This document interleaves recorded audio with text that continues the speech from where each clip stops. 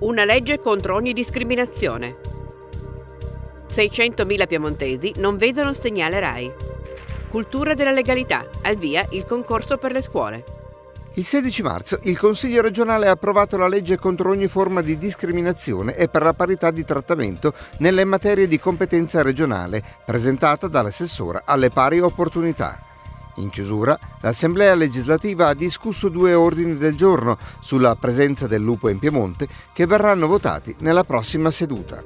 In copertina il Consiglio regionale ha approvato a maggioranza il 16 marzo la legge per la parità di trattamento nelle materie di competenza regionale. Il provvedimento, composto da 19 articoli, fissa alcuni criteri generali per la prevenzione e il contrasto alle discriminazioni in diversi ambiti, dalla salute alla casa, dalla formazione professionale all'istruzione e al lavoro. Tra le novità, l'istituzione di un centro regionale contro le discriminazioni, Dopo l'approvazione della legge è stato votato un ordine del giorno per non esaminare la proposta del Movimento 5 Stelle sulla stessa materia.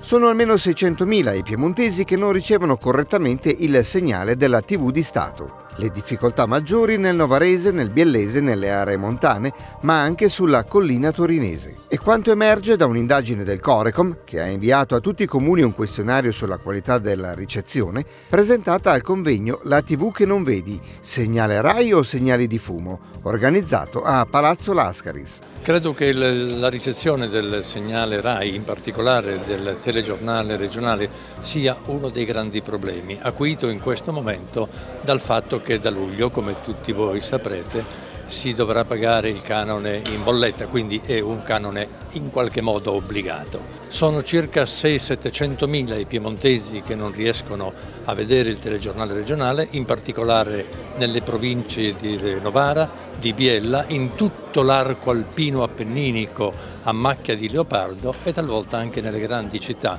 come per esempio la collina torinese e il centro di Asti ha preso il via con la prima conferenza di preparazione a Palazzo Lascaris la quarta edizione del concorso Cultura della legalità e dell'uso responsabile del denaro, realizzato dall'Osservatorio regionale sull'usura e rivolto alle scuole superiori del Piemonte. 11 gli appuntamenti previsti su tutto il territorio piemontese.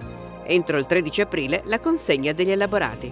Inizia un percorso che il Consiglio regionale, attraverso il suo osservatorio per l'usura, eh, promuove ormai da tempo. Quest'anno ci concentriamo sul eh, tema eh, consueto diciamo, di interesse che è quello del gioco d'azzardo e dei fenomeni criminali connessi, sovraindebitamento, l'usura. La nostra prospettiva però è quella di coinvolgere i ragazzi in una riflessione più ampia, cioè quella di come ci comportiamo quando spendiamo i soldi, perché è proprio da questi atteggiamenti che spesso nasce una confusione, una illusione e che poi porta a utilizzare il denaro in modo insostenibile eh, già dal, dai pochi soldini che hanno in mano i ragazzi, ma eh, più, in maniera più importante quando le famiglie eh, incontrano questi fenomeni.